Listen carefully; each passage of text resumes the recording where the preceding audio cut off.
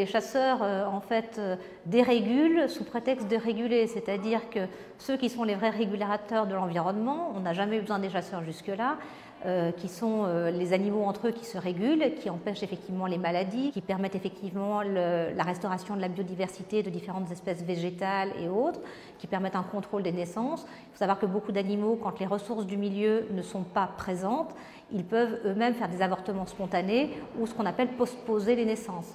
Donc les animaux ont plutôt une certaine sagesse. Les chasseurs tuent tous les prédateurs, ils tuent les renards, ils tuent les blaireaux, ils tuent les loups, ils tuent les ours, qui eux-mêmes euh, permettent de la régulation sur les lapins, sur euh, tout ce qui est euh, espèces d'oiseaux, sur les sangliers et autres.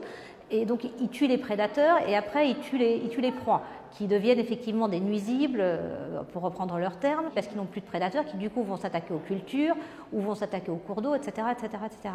Donc euh, si on laisse faire la nature, c'est le meilleur environnement qui soit, parce que le chasseur c'est que si effectivement il tue des prédateurs, puis après il tue les proies en se substituant au, rôle de régulation des deux côtés, il n'a néanmoins pas la fonction biologique et écologique qu'ont l'ensemble de ces animaux-là, de par leur déjection, de par ce qu'ils mangent, de par effectivement euh, ce qu'ils peuvent creuser, ce qu'ils peuvent abattre. Si on prend des on le voit bien même avec des simples vers de terre, des sols qui sont morts et qui n'ont plus de vie.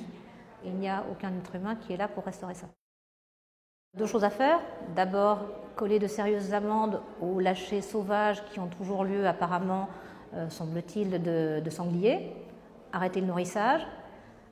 Compléter le nourrissage avec euh, des substances progestatives, des substances qui stérilisent euh, les sangliers. Et déjà, il y aura une régulation spontanée.